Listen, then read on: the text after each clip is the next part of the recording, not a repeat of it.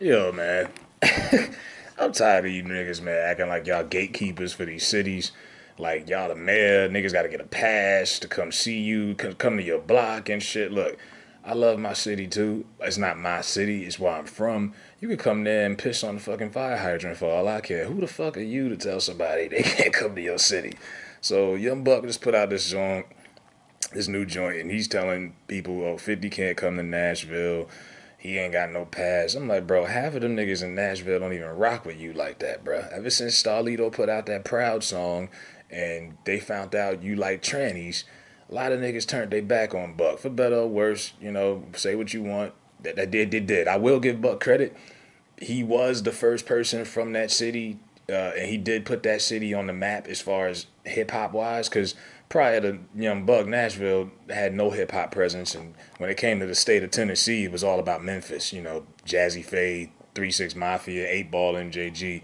I'll give him that. But when I think of Nashville, I could think of like ten different things before I, before Young Buck even pops up. You know, I think of the Titans, uh, the the Nashville boycotts. Nashville spicy chicken, barbecue, rock and roll hall of fame. I mean, you can keep going.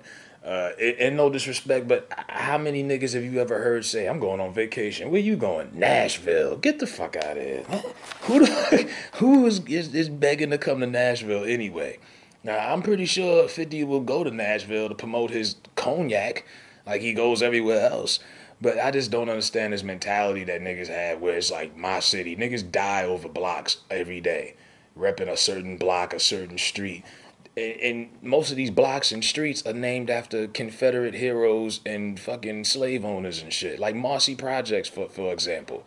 You know, Marcy Projects uh, was named after William Marcy Tweed, a fucking racist Democrat motherfucker from the 1800s who wouldn't shake your hand if you if he was here and could see you. He probably piss on you. But niggas will die over Marcy projects.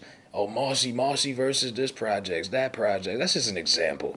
What I mean? Most of these fucking, especially in the South, that's just in Brooklyn, but most of these fucking streets uh, and, and schools that you go to, like when I was in Queens, the, the school, the high school, the, the most popular high school was Andrew Jackson. Yeah, he was a former president, but he was a fucking slave owner. But that was the school niggas had to go to.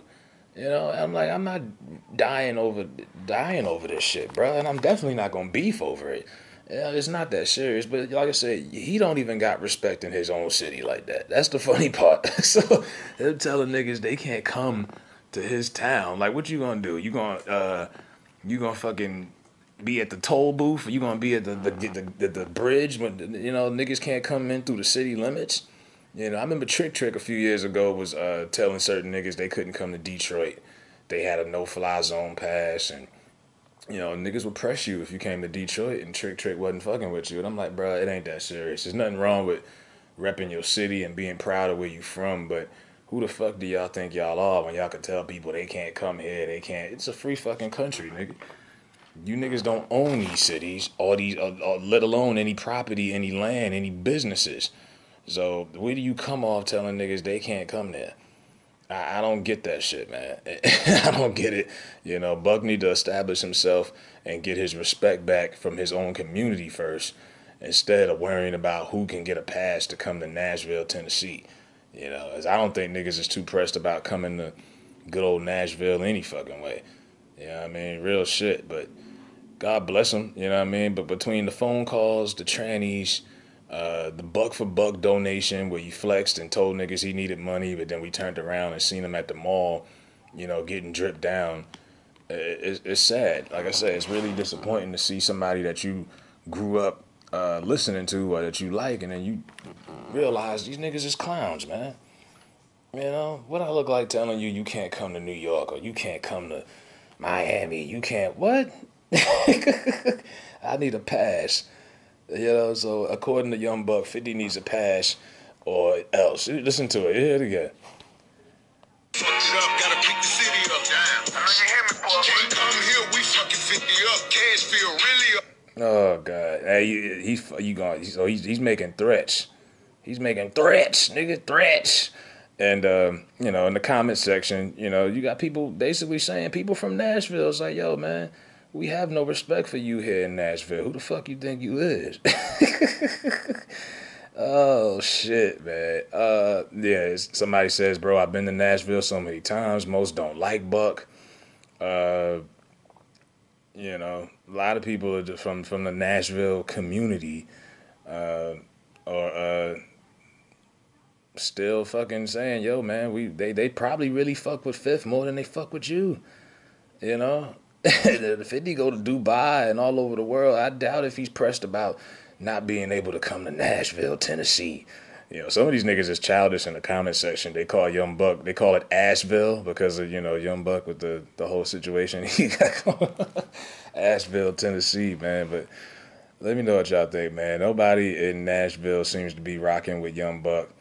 Uh, I think for comedy purposes, 50 should go there today in a fucking helicopter and just sit right there. just get a get a chopper and fly directly there and go to Buck House and just spot up and go on live. Like, what's up, nigga? What's really good? Y'all gotta stop this, man. Nobody is is is you know nobody no one's pressing to go to Nashville anyway. But this whole reality of uh, niggas dying over neighborhoods and blocks has been going on way too fucking long. You know, I love my block too, but I ain't trying to die for it. You know what I mean? I don't own any of the property here, unfortunately. And unless you own it, you niggas do lucky to get a street named after them. I think Biggie Biggie had to die, and it took 20 years for them to name a street after him uh, over there on Fulton. And then they they they, they gave uh, Spike Lee a, a block but most of the time, when they do give you an honorary block, it's usually like split off. They're not gonna make people change their address to Spike Lee Boulevard. It's still the same shit it's always been. It's just like a, a honorary thing. You know, you lucky to get that. You know, when it comes to ownership. So it's like unless you own blocks and properties and and streets, uh, miss me with that shit. You know what I mean? Because like I say with the Marcy nigga, you know what I mean? I know niggas that will die for their projects. LG, uh, fucking rack, 40 projects, all that shit. Do the research on these projects and who funded them. Most of these projects, the first original residents were Jews and poor Italian immigrants. Niggas ain't coming in until like the 50s, and problem is we got comfortable and we stayed in there and made it home. While the rest of them did what it was supposed to be, temporary, got their shit together and got the fuck on. We made it home and then got tattoos, uh, you know, all ignorant shit, man. This shit is ignorant behavior. Young Buck, you're like 38 years old. Grow the fuck up, man.